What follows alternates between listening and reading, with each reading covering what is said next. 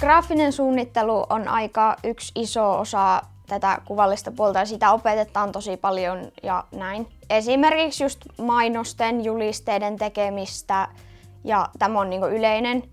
Ja sitten tietenkin siitä voi erikoistua erikseen esimerkiksi vaikka valokuvaamiseen ja tällaisiin. No minun mielestä hyviä puolia tässä alassa on se, koska kuitenkin mainoksia on aina ja niitä pitää jonkun suunnitella, että siltä puolelta ainakin löytyy töitä sitten varmasti ja näin.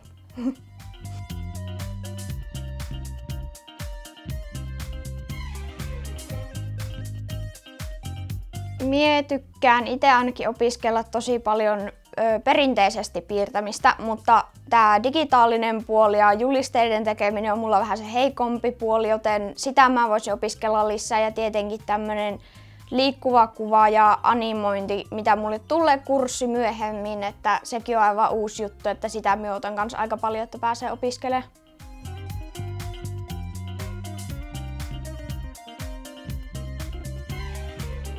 No parasta on esimerkiksi luokkahenki, koska se on tosi kiva. Kaikki ihmiset on omanlaisia ihmisiä ja kaikki on hyvä jossain eri asiassa.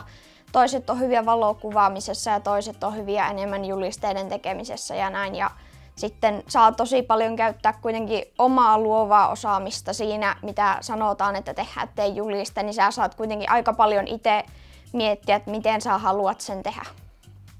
No, miepien eniten perinteisestä maalaamisesta ja piirtämisestä ja tietenkin digitaalinen menee jokseenkin, mutta minä en ole kauhean hyvä siinä vielä, koska minä vasta opettelen ja valokuvaaminen on kans yksi iso juttu, mistä minä tykkään.